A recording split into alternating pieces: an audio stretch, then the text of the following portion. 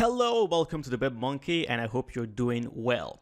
Now, one question I get a lot is how can I transfer my website from my current domain to another domain? This is a very, very popular question, and today I'm going to show you how you can do this by making use of a plugin known as the all-in-one WP migration plugin.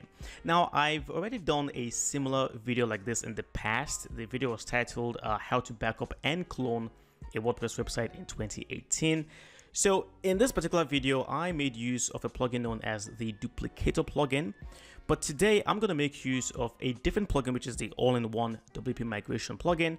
So basically the end result is the same, but the process by which you actually go about transferring uh, your website from one domain to another is a little bit different with the uh, all-in-one WP migration plugin. So sit back, relax, I hope you enjoyed this tutorial and uh, let's get started.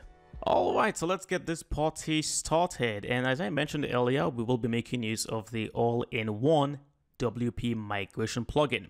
Now here is my current domain. This is the webcoders.tascomputer.com.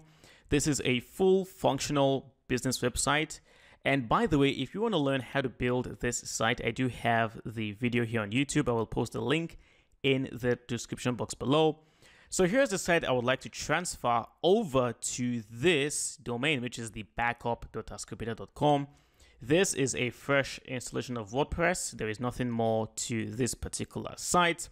So what I've done is I have already gone ahead to install and activated the all-in-one WP migration plugin. You can see it right here. And I've also done the same on my backup site. The all-in-one WP migration plugin is here as well. So here's the process, okay? I'm going to jump back to webcoders.tascomputer.com. And then from here, I'm going to click on export. All right, let's go to export.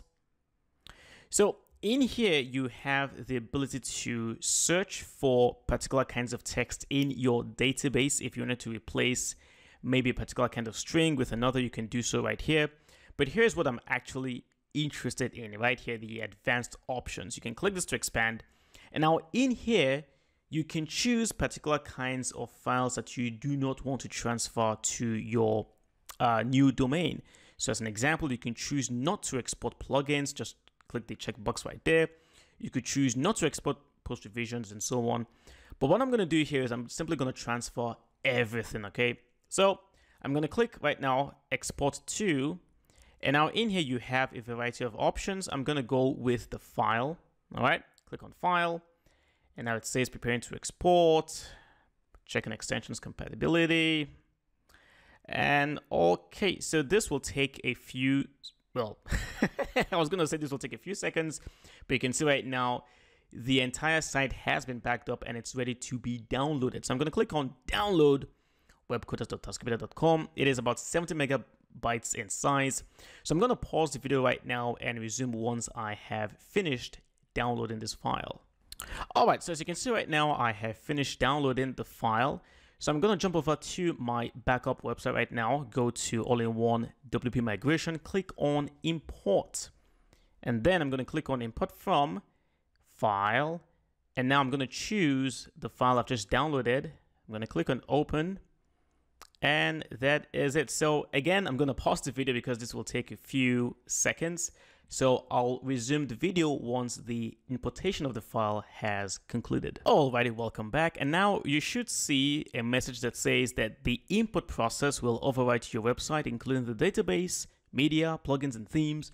Please ensure that you have a backup of your data before proceeding to the next step. So basically, the importation has been concluded and now it is time to actually install those files. So I'm going to go ahead now and say proceed. Okay. All right. This shouldn't take too long. Okay, so now it says your data has been imported successfully. Now you need to perform two more steps. You must save your permalink structure twice. Twice is the keyword right here. So to do this, we're just going to go ahead and click on the permalinks settings from here. This will take us straight. All right. I should mention this right now. So remember now that we have transferred all the files, the database from our current domain, which is webcoders, to our new domain, which is backup.tascomputer.com. As a result, the username and password that we use to create or to log into the backup.tascomputer.com website is now obsolete. So we're going to have to use the username and password from webcoders. Okay. So I'm going to jump in here right now. I'm going to change my username to coders and then my password. I'm going to add the new password. And now let's log in and cool. So we're taken straight to the Permalink structure page. So for me right now, I'm going to click on save changes. That's one.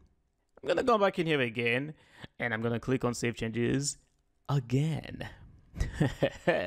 and there you go. Our site is good to go. And there you have it. That's exactly how to transfer your files from one domain to another, making use of the all-in-one WP migration plugin. Now, of course, you can also choose to review the plugin if you really like the way the plugin works. Just click on the link right here. And of course, you can tell the developers how much you love this plugin. It's the best plugin ever. Just come in here and uh, put in your review. All right.